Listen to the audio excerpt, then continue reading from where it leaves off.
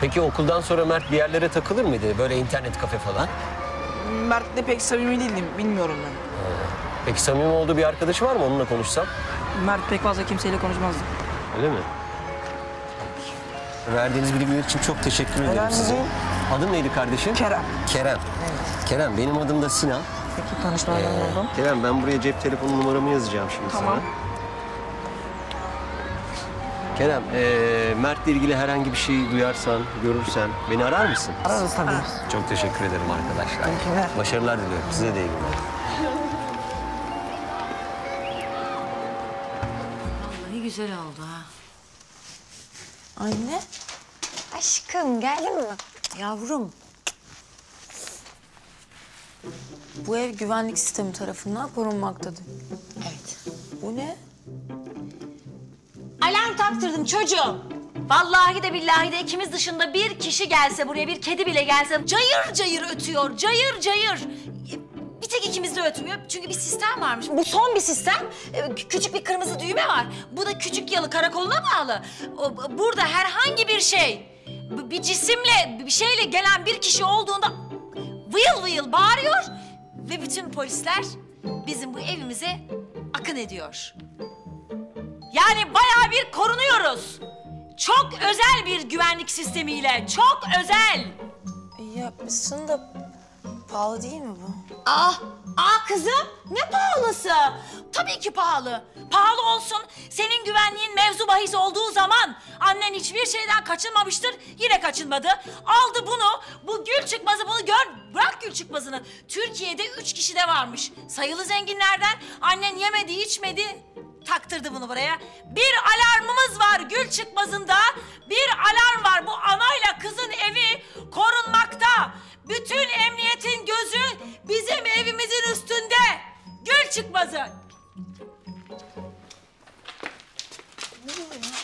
Kendimi zor tuttum yemin ederim. O gerçek değil. Yani gerçek de bozulmuş o. Sokakta buldum. Onu aldım oraya taktım.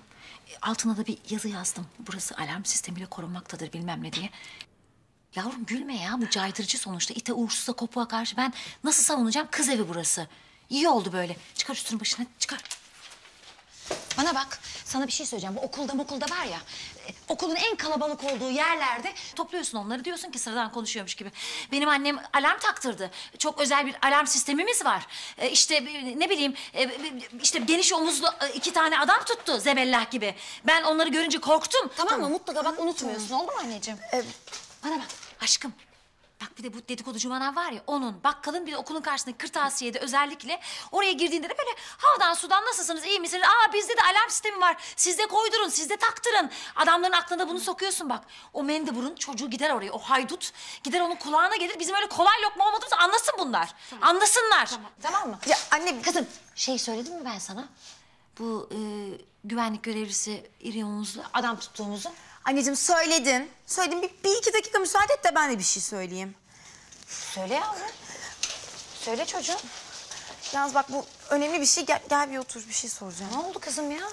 Ya siz bu olaydan sonra Sinan abiyle hiç konuştunuz mu? Yani konuştuk. Konuştuk. Niye? Ne için soruyorsun? Mert'le ilgili filan. Ha, yok canım. Mert'le ilgili telefonda ne konuşacağız? Ankara'ya gitti o. Konuşmadık. Ne oldu? Ben bu sabah onu okulda gördüm de... ...çocuklara Mert'le ilgili bir şeyler söylüyordu. Geldi mi, gitti mi falan. Mert sor. Görüyor musun? Görüyor musun sen ya? Adamın psikolojisini nasıl bozmuş? Bak yavrum ben geceleri kabus kabus görüyorum. Sürekli ter içinde uyanıyorum. O, o da ona kadar etkilenmişse polisten evvel alayım onu yakalayayım ve polise teslim edeyim istiyor. Pis haydut terbiyesiz. Ya anne. Bak bence Sinan abi Mert'i polise teslim etmek istemiyor. Ne yapacak? Polise vermek turşusunu mu kuracak? Ya sen bazen ne kadar saf saf konuşuyorsun kızım ya. Bu çocuk haydut gibi bizim beynimize silah dayadı diyorum sana ya. Bayağı adamın evini gasp etti. Nasıl polise vermek istemiyor? Allah Allah. Ya sen hastanedeydin tamam mı? Ben koridorda Sinan abiyi gördüm polislerle konuşurken. Polise dedi ki hani sözde Mert'in hiç suçu yokmuş. O babasının silahını göstermek için girmiş eve. Sen de onu görünce kavga çıkartmışsın. O ne demek ya öyle? O ne demek? Bilmiyorum. Ya kendi kulaklarımla duymasam ben de inanmazdım ama İşte bu sabah da okula geldi. Mert'i falan sordu. Ya anne sence Sinan abi neden bu kadar ilgileniyor Mert'ine? Bilmiyorum. Bilmiyorum.